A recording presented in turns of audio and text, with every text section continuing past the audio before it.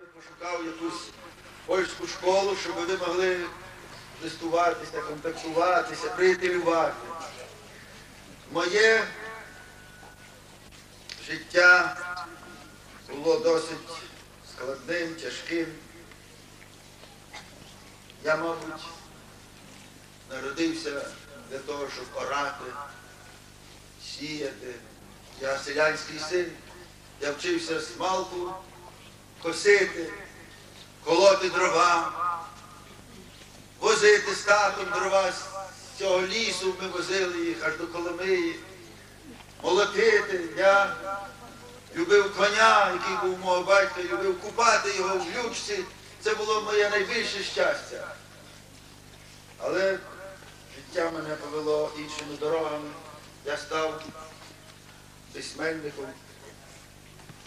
А найбільше моє щастя, що в час, коли повстала Україна, я був з тими людьми, які це повстання починали і керували ним. І я пишаюся тим, що я з цієї школи вийшов, і моєю ручкою було написано, і моєю рукою, і моєю головою. Пару речень у тому акті, який проголосив самостійну Україну 24 серпня 1991 року. Якщо мої книжки ви забудете, то може ті слова з того акту ніколи не пропадуть. І я щасливий тим, що уніс в історію України маленьку іскру свого життя. Я вам бажаю, аби ви вчилися добре і пам'ятали, що оця земля, оця, оця Яблунівщина, Стопчатівщина, Березівщина, Косівщина, що нема кращих краєвидів і земель на прекрасній Україні. Це місця, які повинні народжувати талановитих людей. Вас чекає самостійна українська держава. Вам не треба вже брати, думати, як виводити цю землю з неволі, але ж треба думати про те, як поставити її такою державою, аби на нас дивилися усі наші сусіди і заздрили нам, які ми розумні, які ми багаті і які ми мудрі. Живіть для України. Бо як ви будете жити для неї, то це життя буде мати свою цінність, бо це буде життя для народу. Це буде життя для ваших дітей, для ваших онуків. І любіть життя. Життя прекрасне. Нічого нема кращого, мабуть, у цьому космосі, як оця маленька наша земля, де живе наш народ і де живе багато народів. Тому пам'ятайте, що вивчати треба і свій народ знати, але і чужі народи. Мови вивчайте. Вивчайте мови сусідніх народів. Особливо вивчайте ті мови, якими розмовляє сьогодні світова цивілізація, англійську мову, німецьку мову, іспанську мову. Вивчайте, знайте. Знайте, що з вами порахується в світі. Лише тоді, коли ви самі будете представляти своє знання.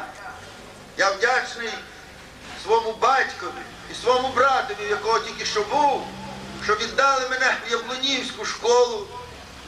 І я вперше пізнав не кирилицю, не наш алфавіт, а латинський алфавіт. Для мене це було дуже тяжко. Бо я був єдиним українцем у класі, де були одні поляки і євреї. Але мені сьогодні та польська мова стала у великій пригоді. Я я спілкуюся з послами і з іншими політичними діячами. І лише тому, що я знав ці мови, я знаю ще інші мови, то мене зробили головою комітету в закордонних справах у тій Верховній Раді, яка почала хитати імперію, якій нам вдалося проголосити самостійну Україну. Не забувайте тих своїх батьків і братів, які загинули в цих лісах за Україну, воїнів української повстанської армії. Пам'ятайте про них, спишіть їх імена у себе в селах. У нас там ще стоять пам'ятники тих, що воювали в Червоній армії. Але коло них, а декуди і замість них мають стояти пам'ятники нашим батькам, братам, які загинули за свободу, за незалежність, за самостійну українську державу. Я вам дякую ще раз, що ви прийшли. Я мало з вами зустрічаюсь, даруйте мені таке моє життя, але я ваш і хотів би з вашою, з моєю школою бачитися частіше. Я думаю, що від сьогоднішнього дня ми будемо так планувати своє життя, щоб все-таки ми з вами мали контакт і бачилися. Дякую вам ще раз і до побачення.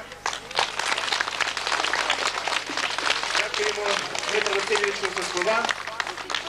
А зараз ми продовжимо наш, е, нашу зустріч у кабінеті народознавства. Це для 10 і 11 класів. Всі інші будуть йти на свої уроки. Будь ласка.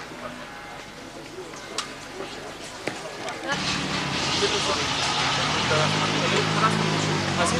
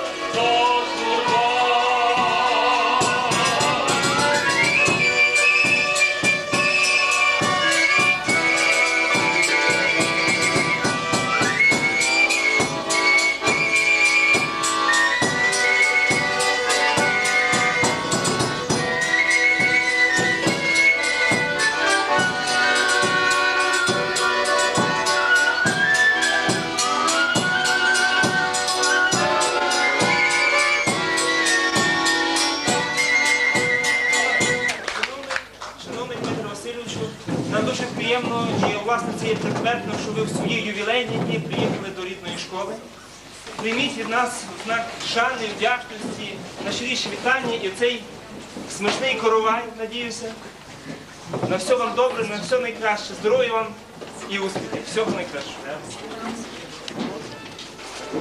Ще теплий, теплий. Ще теплий. Бажаємо вдачі, добра і тепла.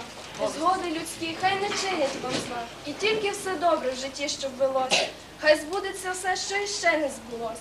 Як сонце на небі щоденно сіяє, так щастя в житті вашім хай засіяє. Як вода джерельна, будьте ви здорові, хай сміються очі, не хмуряться брові, хай живуть у серці почуття високі, а дарує хай дарує доля вам сто щасливих років.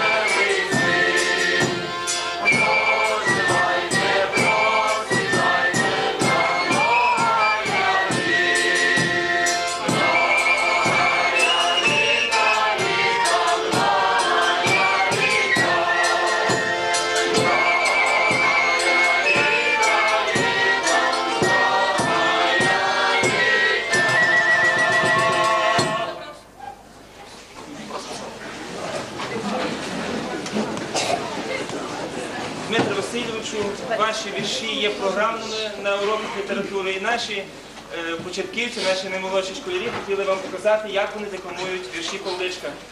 Просимо.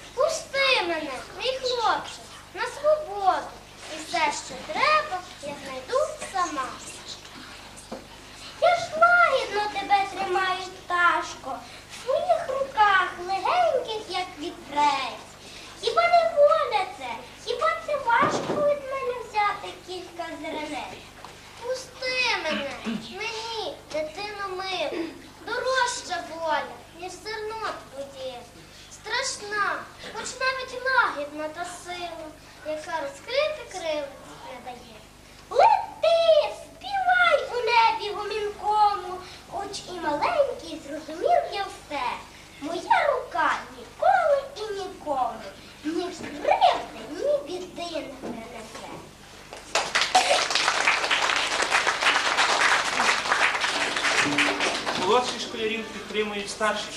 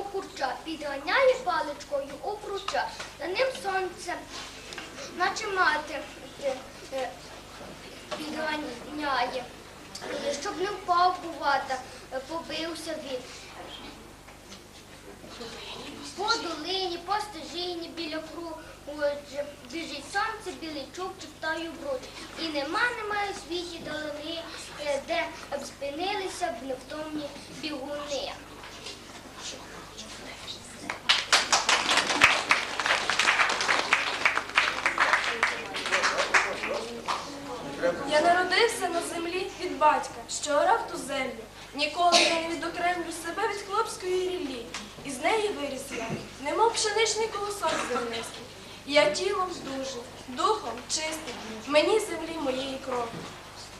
У дитячому серці жила Україна, материнські, веселі і журні пісні. Та за мову мужицьку не раз на коліна довелося у школі ставати мені. Там, де лючка круто в'ється, де хатки в садках, там мене носила мати в коло на руках. Там я знаю кожну стежку, кожен камінець. Там узяв я пісню в серці із людських сердець.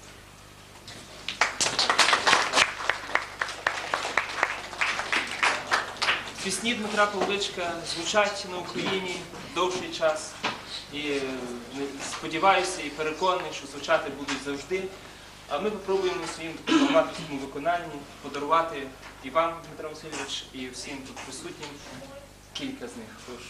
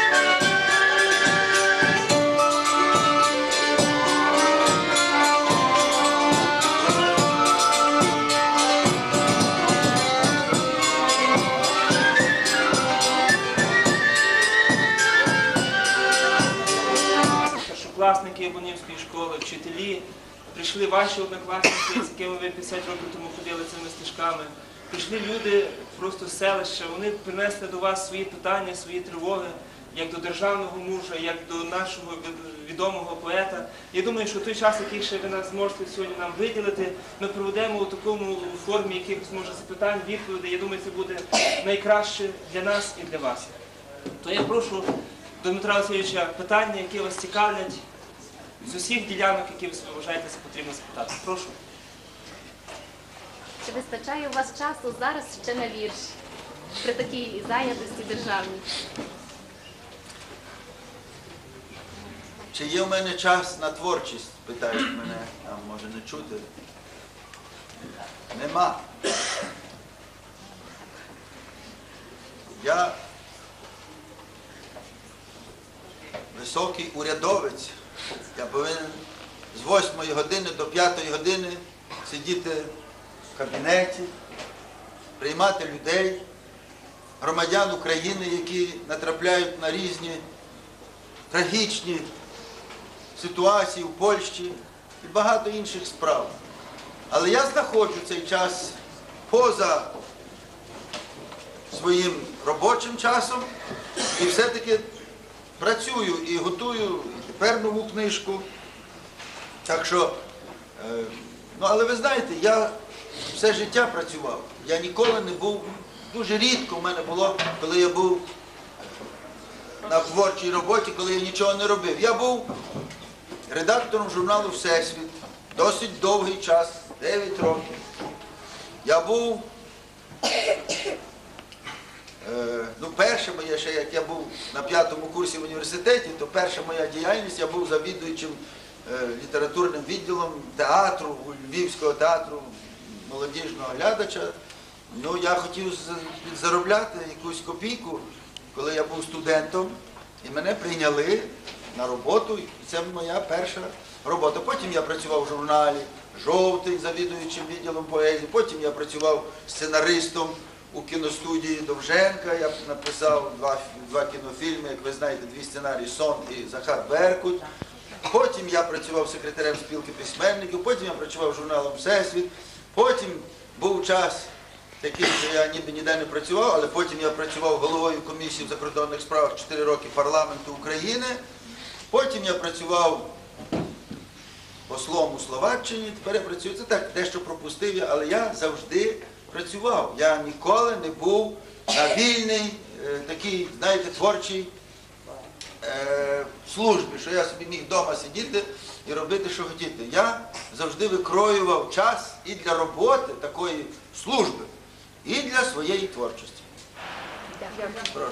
Скажіть, будь ласка, чи з'яв- з'являться у вас нові вірші після відвідин Прикарпаття, рідного села і школи? Безперечно, я е, відновив собі дуже багато у моїй пам'яті тих картин, які вже пригасли були, бо досить, я, я тут буваю досить часто, ну кожного року. Я буваю у своєї сестри, у свого брата, я е, буваю у родичів своїх, ось тут вчителька ваша, моя родичка сидить і так далі. Але я не якось так виходило, що я не заходив до цієї школи, хоча це моя школа. Це винен Микола Томащук, який був директором тут в той час. Він, він, він, ми вчилися разом. Я жартую. Він якраз мені, він якраз мене і запрошував, і навіть писав листи, щоб я приїхав. Так що, і здається, щось у нас було один раз, але лише один раз. Е, трохи мене, знаєте, як би сказати, я звик був до тої школи. Я не знаю, що там у тому домі, де ми колись вчилися, чи там є, чи воно стоїть все пустка зараз, не знаю. Але це, це приміщення, воно мені було незнайоме. Я тут не вчився в цьому приміщенні, я вчився там. Але це Яблунівська школа. Це та сама школа, це та сама традиція. Це перший випуск був післявоєнний, так би мовити, і він продовжується дотепер. І я думаю, що я вчився з дуже гарними людьми. У нас було 16 е, лише в класі, і всі ці люди дуже цікаві. От, е, і тут от сидить Василь Пожожук і Микола Томащук. Я думаю, Василя Томащука ви добре знаєте. Лукіна Варцарука, ви знаєте, ви не знаєте Петра Сіреджука, який загинув трагічно в космачі. Ви не знаєте Василя Ковалишина, Стопчатова, який з третього курсу ще пішов в УПА і загинув як воїн. Е, Мої колеги Стопчатівські, деякі вже помирали, деякі Михайло Мочернюк, Михайло Ясінський. Це був клас, е, я би сказав, таких зібраних горішків. Знаєте, такі, такі всі були тверді. І, і, і, я думаю, що коли, колишній директор школи Мащук, ви його повинні вже пам'ятати всі, я думаю, він ось тут. Це так само був такий горішок, який добре вчився. І він вів цю школу досить довго тут, провадив її. Тому е, ну, е, в мене в пам'яті багато виникло спогадів, які могли, так сказати, бути, могли не бути в зв'язку з моїм приїздом сюди. Я був у Косові, я був в Коломиї вчора, зустрічався з різними людьми. І безперечно, що така мандрівка моя своїми рідними сторонами залишиться, відіб'ється якимось чином у моїй пам'яті.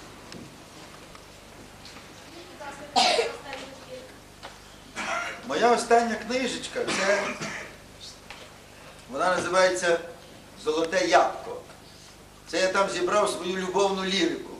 Якраз, е, значить, я думаю, що я вам її залишу. Тут подарую. Вона в мене є в машині, я її не взяв з собою, так вийшов, розхвилювався. Отже, я вам е, її дам. Це е, там є і ті перші мої такі ліричні вірші, якщо ви пам'ятаєте. Ну я можу прочитати з тих ранніх, як я пам'ятаю, а ці теперішні написані я вже менше їх пам'ятаю, але якби могла прийти до мене цієї миті, та дівчинка моя, що в сяєві блакиті, приходила колись весела, як струмок, і вся вливалася в ріку моїх думок, просвітлюючи їх своєю чистотою аж до самого дна. Якби вона святою, дитинністю мене пойняла нині знов, я б у собі згасив грімниць буремну кров, пал невдоволення за ідеалом ту, печаль обов'язку, ненависті напругу, посвяти печію, зневагу до раба, стлумив би я в собі, і знову голуба, моя душа була, як та вода зі звора, та вже не прилетить любов моя прозора. І добре, що нема нікому вороття, що на одну любов дано одне життя.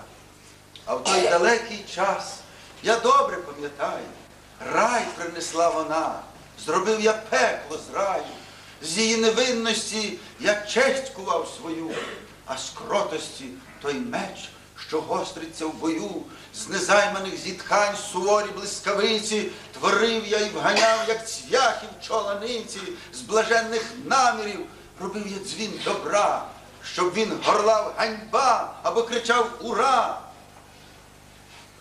Я цілий світ любив у дівчинці своїй. Я сотворив себе з її дитячих мрій. І добре, що вона вже не прийде до мене, не прояснить моє відпочувань теменне від боротьби трудне, палаюче єство, в якому дух життя справляє торжество.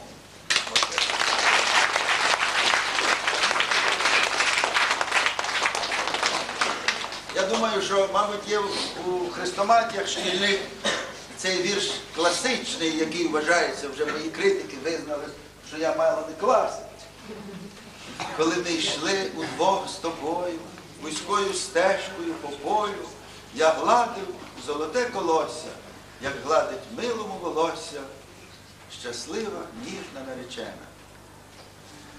А ти йшла поперед мене, моя струнка, солодка згуба, і я помітив, як ти грубо топтала колоски пшениці, що нахилились до землиці, немов траву безплідну, дику, топтала і не чула крику тих колосочків.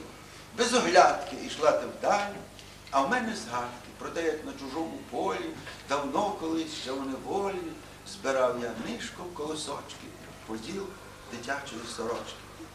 О, я хотів тобі сказати, що те колосечко вусате, то не всепущий труд мозільний, то молодим калач весільний, то для дітей пахуча булка, то хліб, що матінка гуцулка з долівки вчила піднімати, як батька в руку цілувати. Та я змовчав, я йшов покірно, бо я любив тебе надмірно. Але мені тоді здалося, що то не золоте колосся, що то любов мою безмежну стоптали так не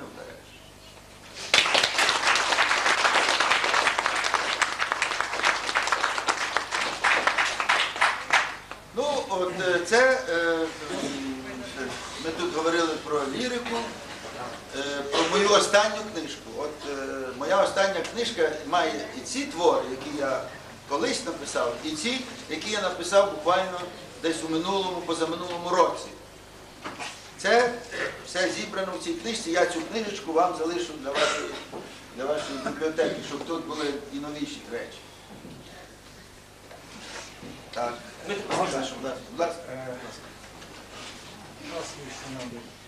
Ви громадянин нашої країни, посол, вис- високий діяч політичний. Зараз у нас передвиборна кампанія йде, президентські крісло виборюють люди. Як ви вважаєте, хто би мав бути і за кого б ви віддали голос на президентське крісло? З 15 чоловік претендентів. Тим більше такі. Як е, один з творців руху і один з тих демократичних діячів, мав би вас агітувати за рухівцями.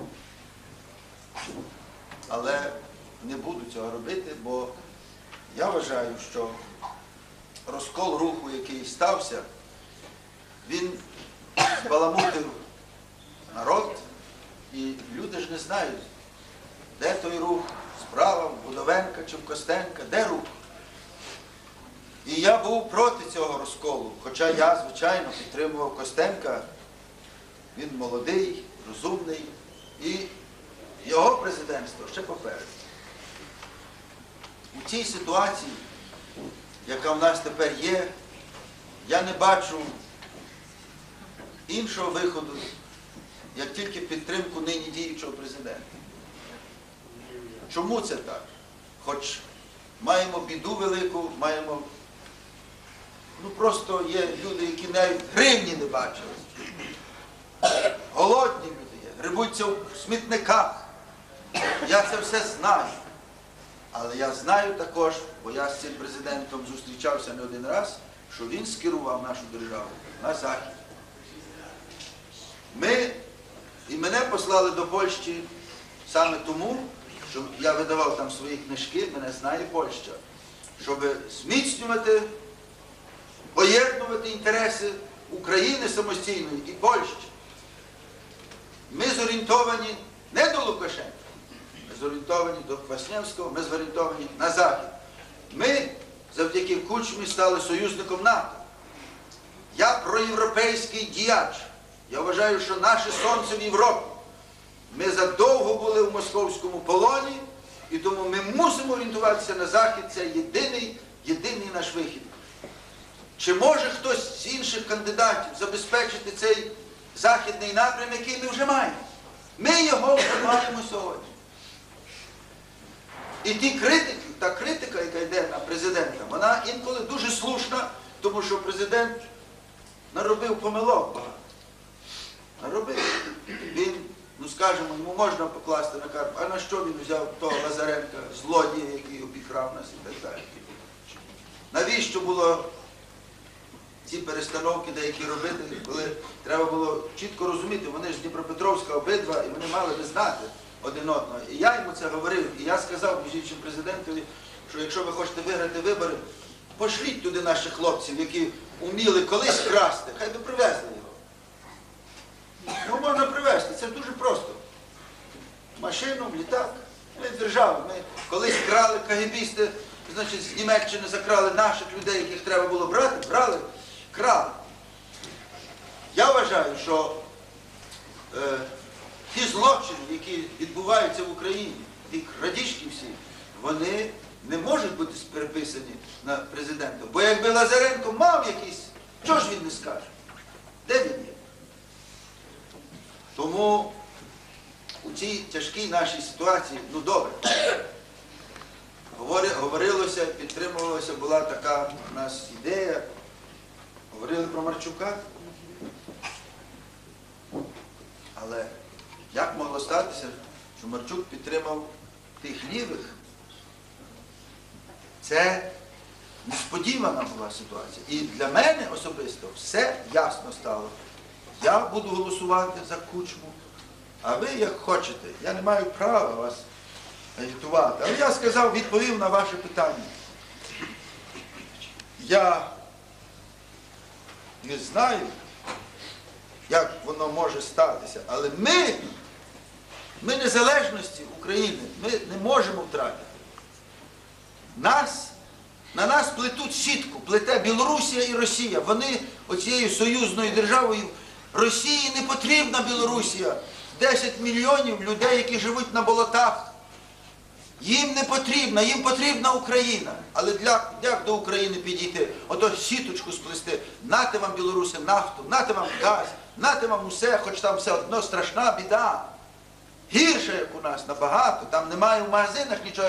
Пригадуєте радянські часи, де ми стояли в черзі за грамом масла і за ковбасою. Така сама ситуація в Білорусі.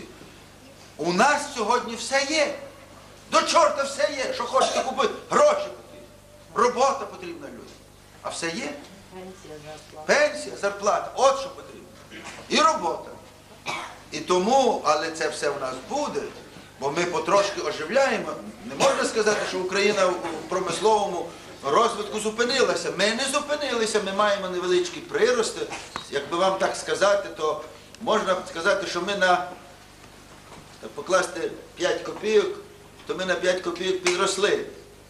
І ростемо далі. І будемо рости, тому що ми почали продавати за кордон танки. Ми нарешті зробили свій танк.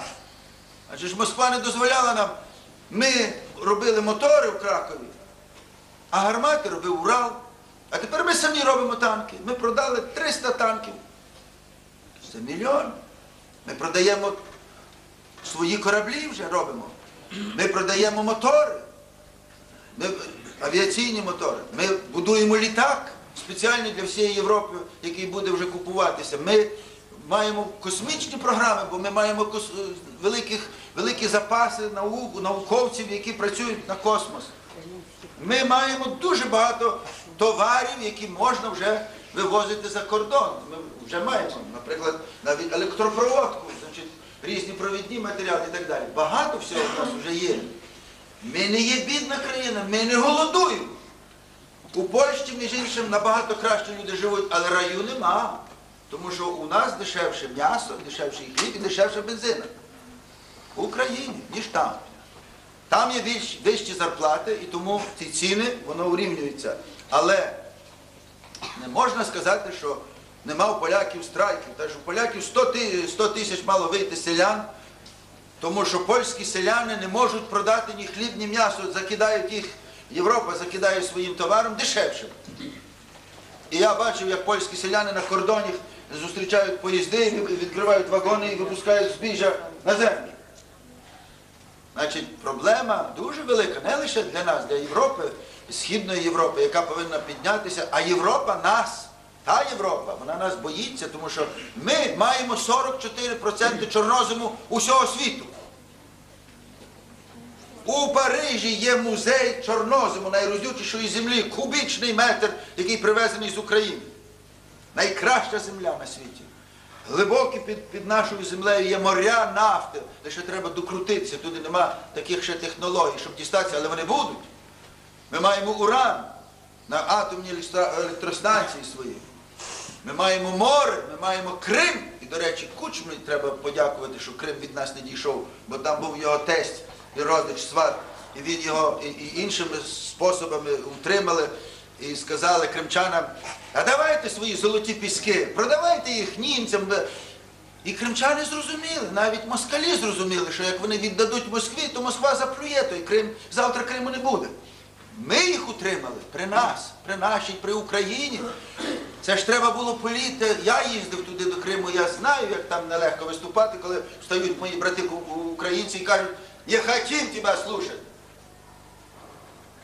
Українці не хочуть шкіл, не хочуть слухати нашої мови, а живуть в Криму. Як з ними працювати? Як будувати цю державу, коли ви тут стоїте за одне, а там приїжджаєш, а там одна школа там у Кри- у Керчі зараз, ну, в Севастополі, у Симферополі є, почалися перші класи, почалося, почалося потихеньку життя. І Сталін вивіз наших людей на Сибір, і ті Сибіряки, наші українці, які вернулися в Крим, ото наша була база. 20% українців, галичан, живе у Севастополі. Ото ті люди там мають і церкву, і українську газету, і сині-жовті прапори, і вони там тримають разом з татарами отой Крим. Ну, я думаю, що ви зрозуміли. Я можу говорити далі і далі, але така моя думка, не дай Боже, аби ми помилилися 31 жовтня. Ми принаймні знаємо, як іде нині Україна, куди вона йде і що вона хоче, то ми знаємо. Що може прийти, ми не знаємо. Тому кажуть англійці, старий чорт, нам знайомий чорт, кращий, ніж новий незнайомий. Дмитро Васильович, можна ще питання? Будь ласка. Ну, Ви е, сказали про те, що в нас є дуже велика загроза із Сходу, і, ну, і зрозуміло, що Захід може приймати Україну тільки в тому випадку, якщо вона буде європейською державою, бо не європейською неможливо. Чи вам не здається, що все-таки найбільша загроза нашій державності це у цій мафіозній клановості, яка панує зараз на сучасному етапі в нашій державі? Бо ми е, багато дехто трохи орієнтуємося в тому, що Я знаю, про що ви говорите. Це є загроза, але е, ми так повинні розмишляти. Гітлер знищив Німеччину. Це загроза для німецького народу була. Він оголосив війну всій Європі, програв, стерли з лиця землю, землі англійські, американські бомби, бомби німецькі міста і так далі. Але Німеччина лишилася. І Німеччина встала. Тому важливо сьогодні держава. Держава, бо воюючи сьогодні проти оцих кланів, які, які там є, десь вони ходять, там може навіть коло кучми ходять. Ми можемо втратити державність. Розумієте, в чому справа? Ми ніко... коли, ми, коли ми голосували за Кравчука, ми що? Тоді е, думали, що він буде таким, як, він став? Чи коли ми за кучму, пам'ятаєте, як ми кучму виганяли з Коломиї, не давали йому слова сказати, ми думали, що він таким буде? Ніколи в світі. Я поїхав агітувати за Кравчука у Дніпропетровськ. Я виступав по телевізору, по радіо там, за, за Кравчука. І я був кравчукіст завжди, тому що я з Кравчуком робив цю революцію. Я до нього ходив, коли я здавав партквиток, я прийшов і сказав, Леонід Макарович, я виходжу з партії, давайте з нами. Секретарю ЦК. Він сказав, тікайте з Києва, бо вас за- позабирають. Тікайте поки що з Києва. Я тобі дам чарку коньяку, випий і тікай. Така була у мене розмова з Кравчуком, коли я з партії виходив. Тому що і Кучма, і Кравчук, вони всередині, в душі вони розуміли все, і у них була, і є, і ота українська основа.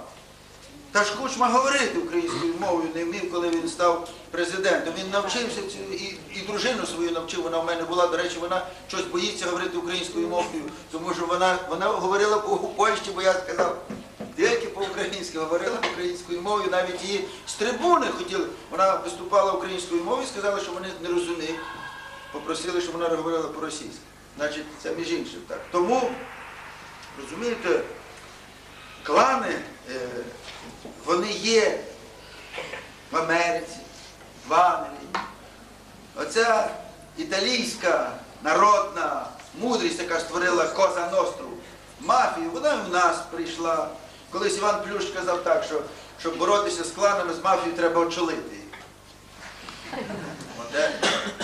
Благородний, гарний чоловік був, такий, знаєте, він тепер ще є депутат, гарна людина, дуже він багато зробив, коли мене комуністи там хотіли взагалі розчавити, знищити, він мене захищав, коли я був у Верховній Раді. Отже, є небезпека, але є гірша небезпека. Є небезпека, що ми, оголосивши сьогодні війну нинішньому президентові, дамо дорогу кому? Скажіть, ми можемо при цьому, ми президента повинні виховувати, ми повинні на нього впливати, ми повинні коло нього бути, так як я був коло Кравчука. Коли ми не дали, коли Горбачов дзвонив до Кравчука і казав, я вас чекаю під Москвою на союзний договір, я сказав, не поїдеш, не поїдеш і не поїхав. І все. І тому, коли президента, щоб були наші люди, ми повинні там сидіти і свої клани там творити, українські клани, українські, які будуть клани. А поки що ми цього не вміємо робити, бо ми любимо лише воювати так на мітинах, на словах і так далі. У наша трагедія біда. Ми не маємо своїх сьогодні багатих людей, е, бізнесменів, підприємців, які би були багаті, які би фінансували українську економіку. Наші багачі гроші збирають і вивозять за кордон. І кучмі доведеться ці гроші вертати. Це, що, е, там лежить за кордоном, він знає, як це зробити. По-різному можна робити, але це треба зробити. І тому я кажу, можемо воювати, це така наша вічна біда, що і це не добре, але якщо це викинемо, то прийде ще гірше. Я хотів ще на питання. Так, так, так. Я вже буду коротше говорити, бо вже 12 Хто година. спасе Україні українську книжку? Коли в українському місті в книгарні буде українська книжка, але лише на московському кулаку? Значить, оце є, оце є наша велика біда. У Києві я недавно був, ходив і бачив на цих всіх е, розкладках. Одна Московщина, причому похабщина і взагалі е, чорт зна що. Тому хто спасе?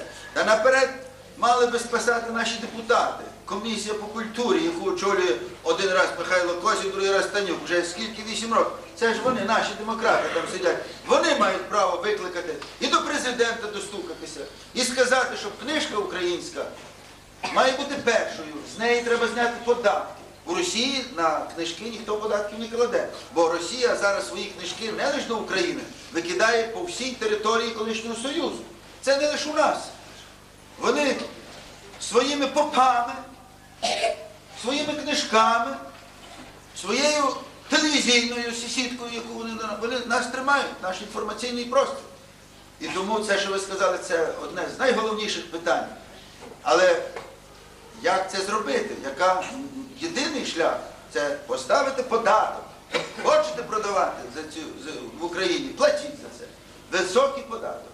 От наш уряд цього ще досі не зробив. І тут є, звичайно, і провина і президента, і Пустовойтенка, і інших. Я це знаю дуже добре. Що книжка, книжка, ну моя книжка, от я видав, це ж, дорогі мої, я плачу гроші. Я збираю кошти і видаю за свої гроші книжки. Я не одержав за покаянні псалми, за ностальгію, за золоте ябко, за сонети Шекспіра, за вірші Бодлера, які вийшли, за антологію словацької поезії. Все, що я видав тепер, це все за мої гроші. Тобто за випрошені гроші у наших банкірів. Розумієте? Оця книжка коштує 3 тисячі доларів треба заплатити, щоб вона вийшла. Дві тисячі примірників, хіба вона може дійти до Яблунова? То ніколи вона не дійде, бо вона вже розпродана там в перших київських магазинах. Отже, я дивлюся, нема ні однієї моєї нової книжки. Нема. І ви не знаєте, ви мене читаєте з тих книжок, а ви повинні мене вже читати з цих книжок. І я вам вже повинен, це вже моя біда, я повинен був про це подумати і вам прислати свої, свої книжки, щоб вони тут були і так далі. І мені це доведеться зробити, бо вже де-де, а в цій школі, де я вчився, має бути бібліотека повністю. Все, що я видав, що, що, все, що про мене написали, тут повинні бути моя книжка, яка вийшла в Угорщині, дві в Польщі, дві в, Угор, дві в в Болгарії, е, значить, і так далі, і так далі. Те, що там мене видавали в Грузії, в Естонії мене видавали по світах всюди, тому я.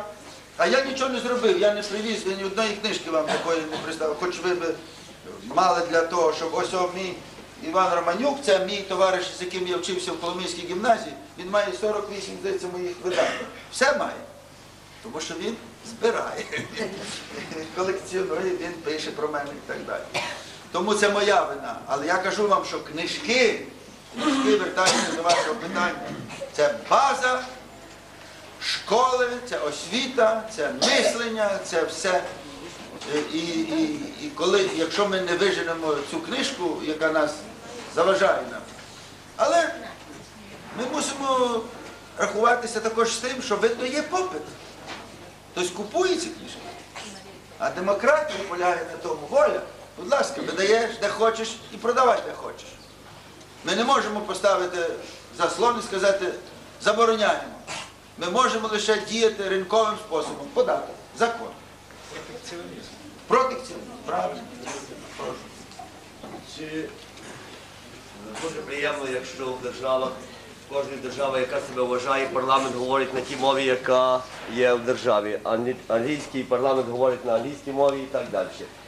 Чи дійдемо ми до того, що в нашому парламенті будуть говорити депутати на рідній мові?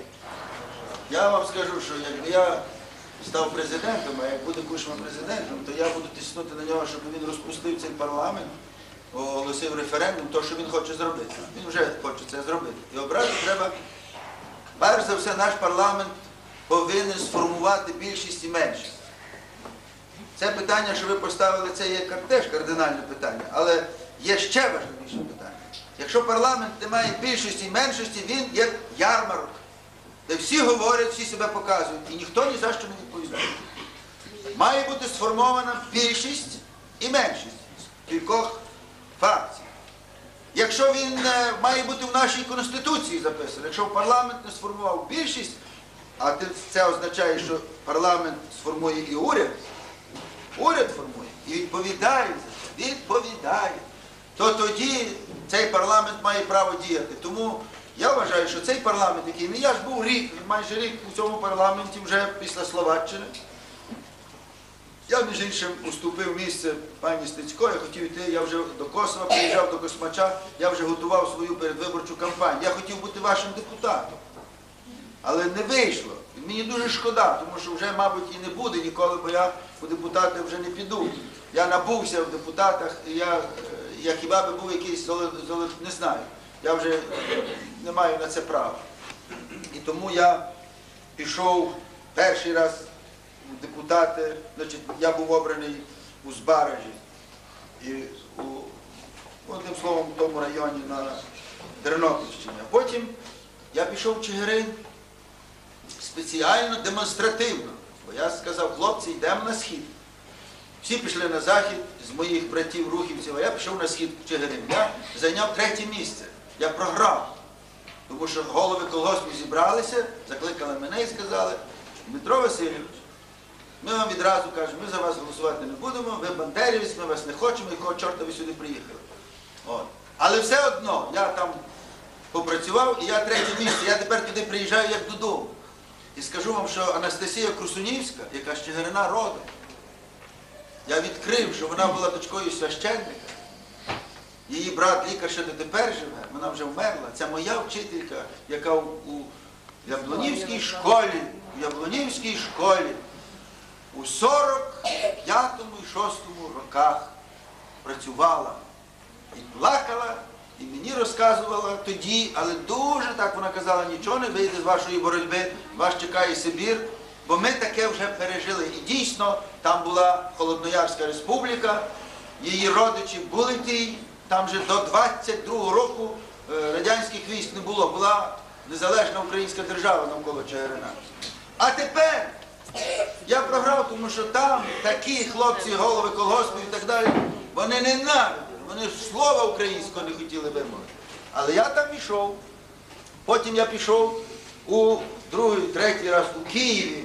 І знову ж третє місце, але знову я програв вибори і став я депутатом Верховної Ради вже цього, третього скликання від руху, як член руху. І все робив для того, щоб ця фракція могутня, 48 хлопців у нас було, та які ж хлопці, один Дусновський, чого.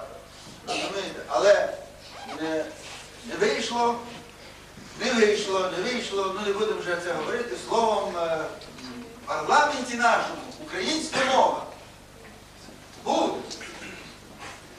Всі будуть говорити українською мовою, але треба, якщо буде більше. більшість скаже тим, хто не говорить. Панове, ви в українському парламенті.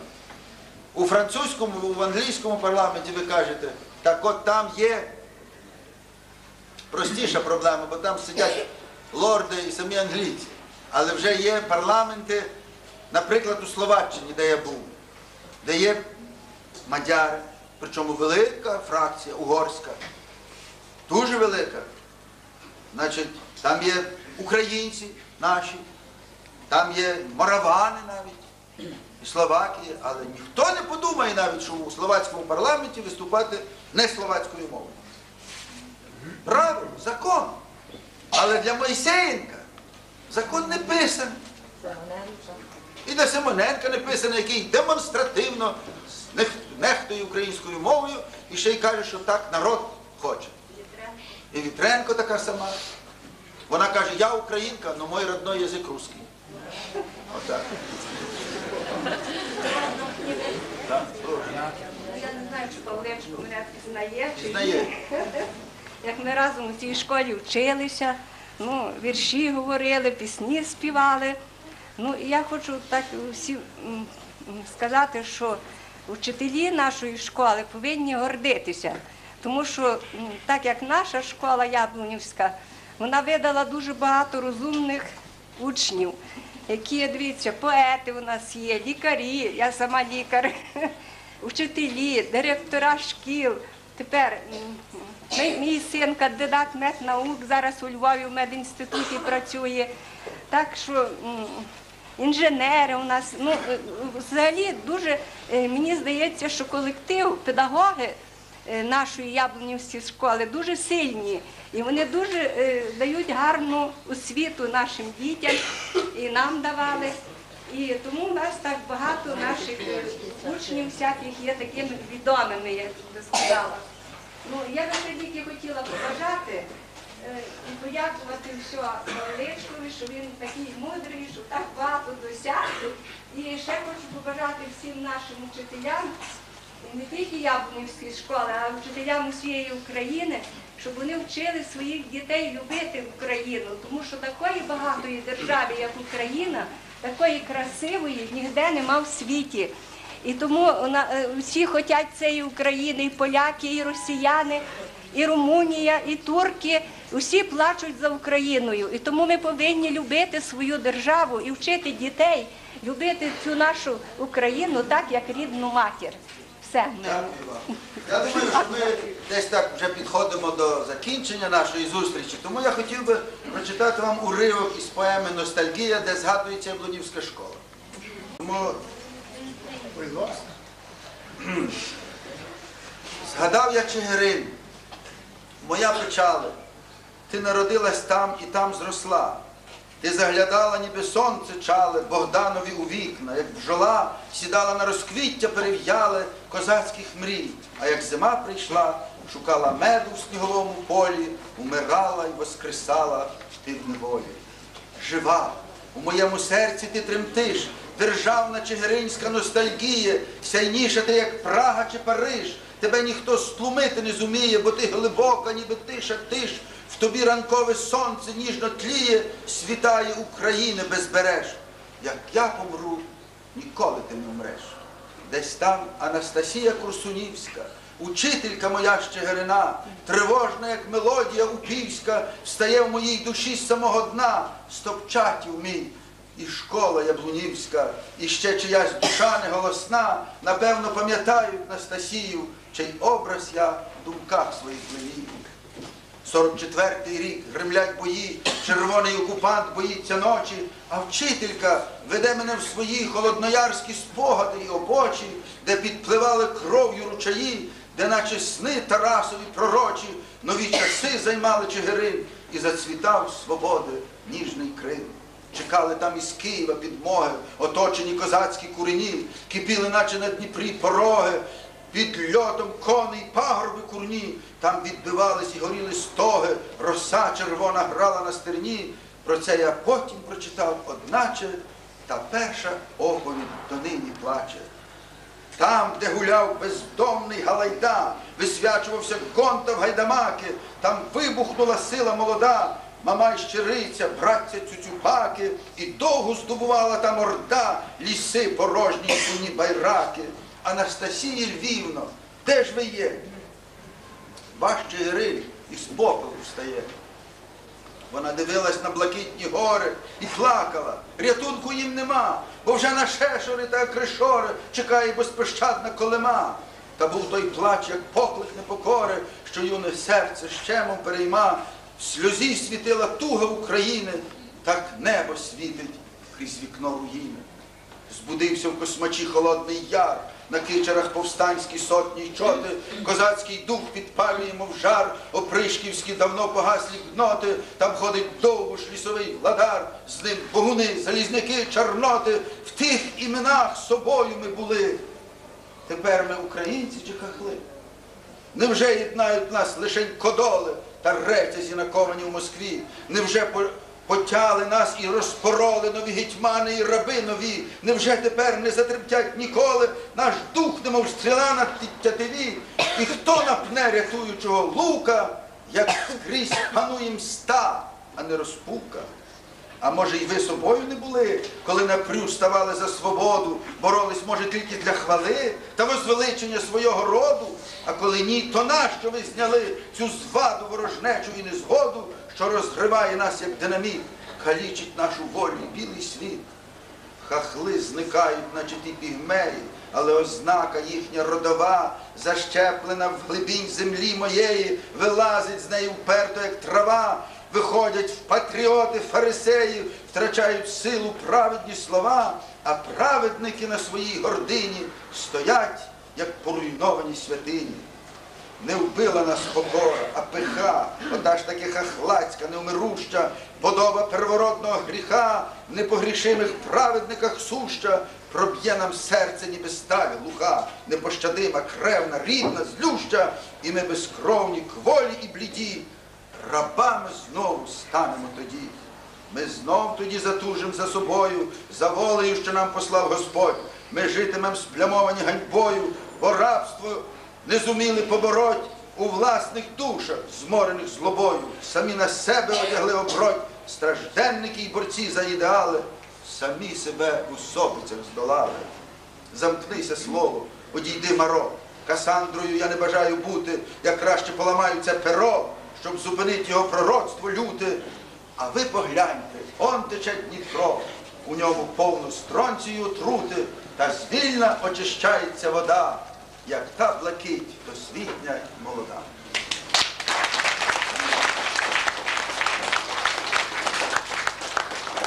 Значить, я, я закінчую свій, хочу вам прочитати, ну, щоб ви знали, це зовсім останні мої вірші.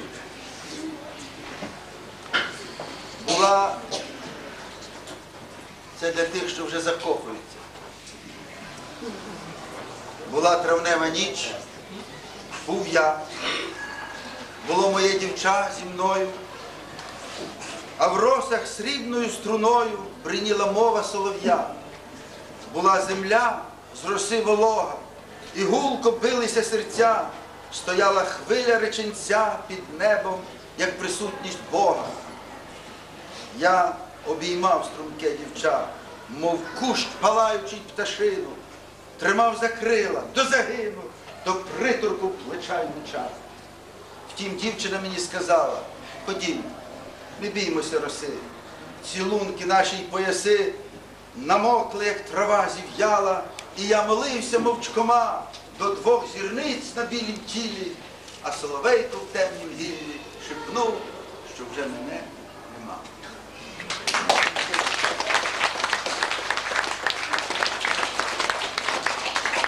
Шановний Дмитро Васильовичу, дозвольте від імені людей, які зібралися тут, подякувати вам за ті прекрасні хвилини проведення разом з вами. Бажаємо вам щастя, здоров'я, успіхів в тій нелегкій праці, яку ви виконуєте щоденно. І єдине прохання, якщо будете в цих місцях, заходіть до цієї рідної Євгенівської школи. Дякую. До побачення.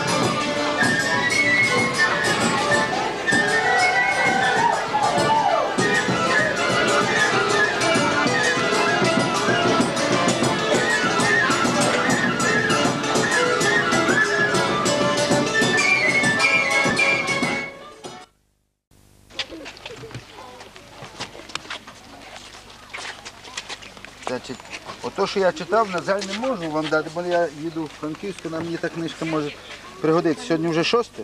Так. На, нате вам сховайте. Якщо я можу просити ще автограф для мене особисто. Як писати? Михайло Климюк.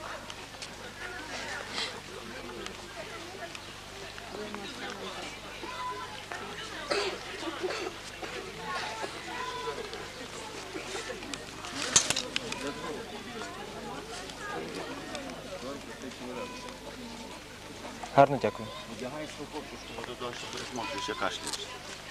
Мені тільки автограф і дах. бо ми знаємо. Ми знаємо все. Що що? Я знаю, я вже все замітив. Дякую. Щасливо. дороги. Щасливих бідних.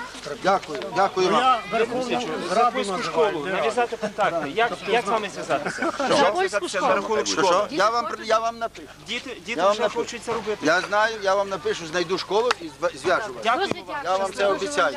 Щасливо, будьте здорові. Дорога вам, друзі. Можна без університету?